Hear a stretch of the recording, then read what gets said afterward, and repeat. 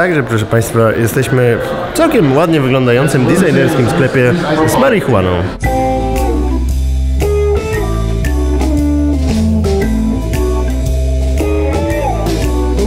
Niesamowite, nie dość, że tutaj sprzedają marihuanę i ten, to jeszcze wszyscy mnie miło przyjęli z kamerą, w ogóle, że tutaj fajnie, że dziękujemy, że nagrywasz film.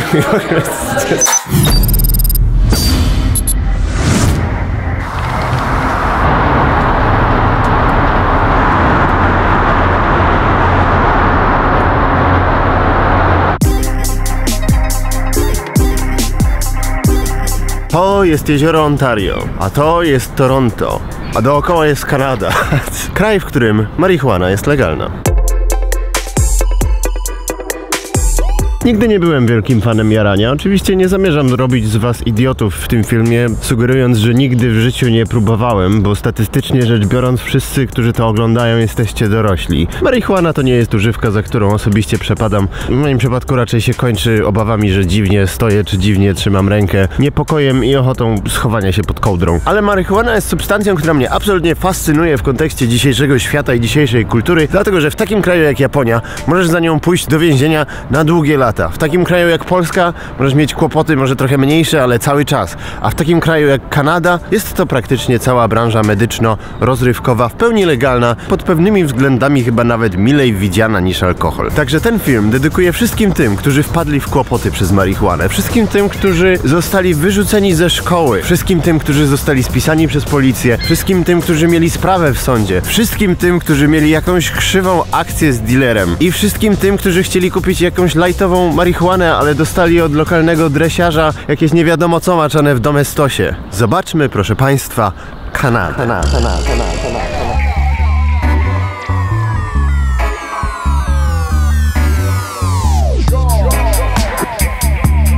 Jeśli chcemy sobie obecnie w Toronto zakupić marihuanę, to mamy kilka opcji. Pierwszą z nich są tak zwane dispensaries, które są obecnie nielegalne, ale były takie trochę półlegalne jeszcze do niedawna. Drugą opcją byłby zakup przez internet w takich oficjalnych rządowych sklepach, gdzie jest również opcja zakupu marihuany medycznej, czyli jeśli mamy receptę, to możemy ją sobie zrealizować przez internet. Trzecia opcja jest najnowsza i jest to fizyczny sklep z oficjalną licencją rządową. Jeden z nich sobie zobaczymy.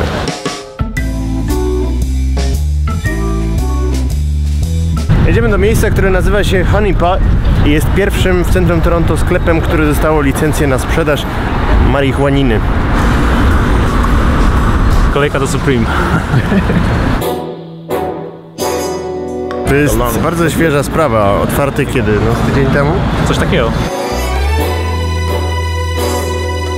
Obczajcie, że nawet to jest zrobione, żeby wyglądało jak jaranie. Żeby wejść do środka trzeba wejść przez dwie rundy sprawdzania dowodów. Tak jakby jedna zawiodła, to jest jeszcze druga. Ciekawym doświadczeniem jest stanie w tej kolejce, bo można sobie łatwo wkręcić, że wszyscy dookoła ciebie są zjarani strasznie. Można sobie tak kręcić. Nigdy tego nie wiesz tutaj. Wstęp od 19 lat.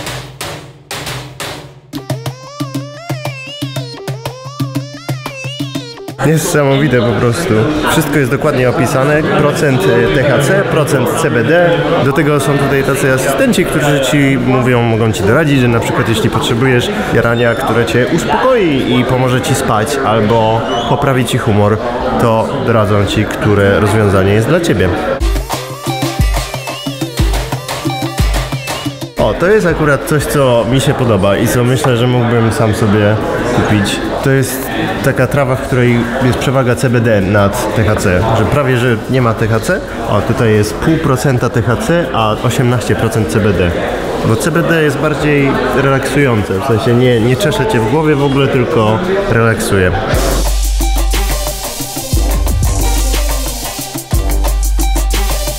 Trzeba przyznać, że one naprawdę ładnie pachną, w sensie każdy ma troszkę taki inny aromat. Hmm. To jest naprawdę duży upgrade od kupowania jarania od dresiarza na zasadzie jaranie. Nie wiem co to jest, ale płacę. Nie wiem czemu cały czas wyobrażam sobie dealera jako dresiarza, ale to, sorry. Do tego też są różne takie no akcesoria, bongo, bongosy. No to jest mniej ciekawe, nie? Bo to też są takie sklepy w Polsce. Dla pasjonatów wyrobów tytoniowych. Absolutely.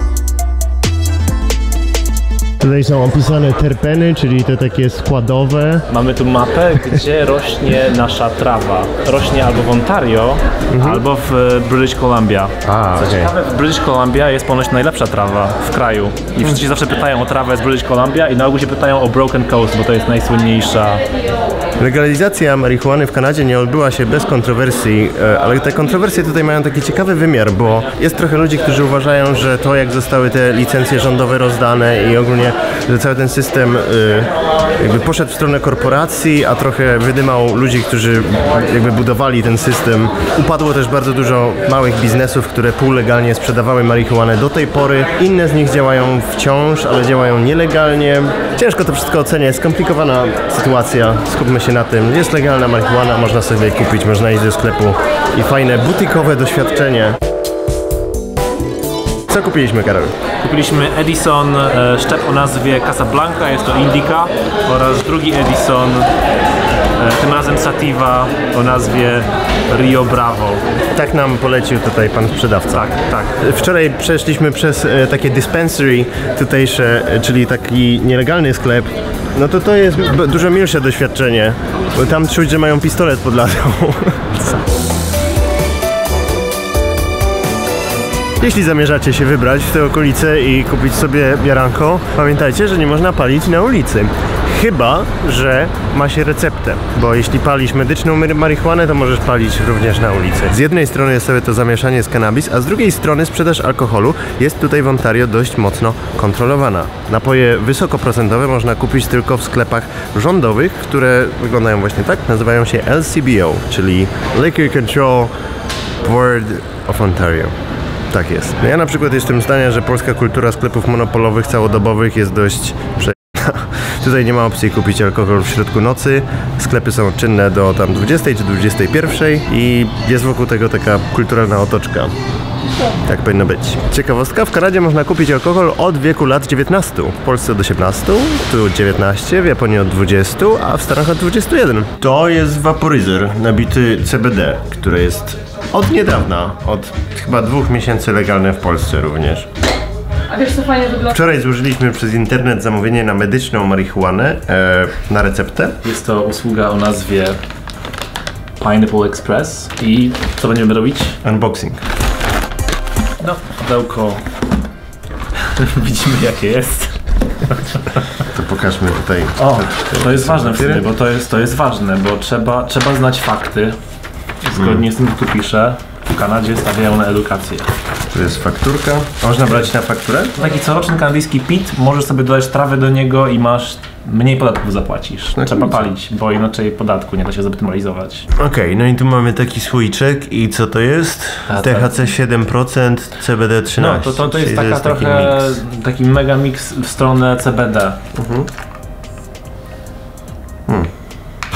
Dobrze, no. Bo jest no, no. Dobra, i obiekt numer dwa. Jest tutaj oficjalny rządowy ten, e, no banderola. Bardzo. Jakie sreberko. No, no, na ogół właśnie zawsze są sreberka. Dziwne, że tu nie było sreberka. O, tu mamy takie ładne, takie cztery brokuły. Faktycznie jak brokuły wyglądają. Głównie THC. O, taka mocna indika z kopem. Czyli na faskę.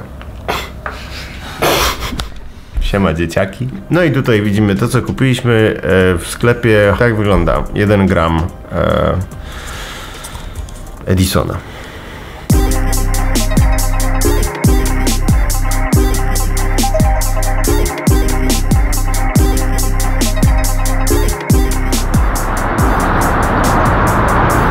Legalizacja marihuany wcale nie oznacza, że każdy powinien jarać, nie oznacza, że każdy będzie jarał. To po prostu daje pewną wolność wyboru. Tak jak mówię, no ja nie jestem wielkim fanem jarania, ale wydaje mi się, że jest to substancja dużo mniej szkodliwa niż alkohol tak naprawdę, a z jakiegoś powodu społecznie niezbyt akceptowana u nas jeszcze.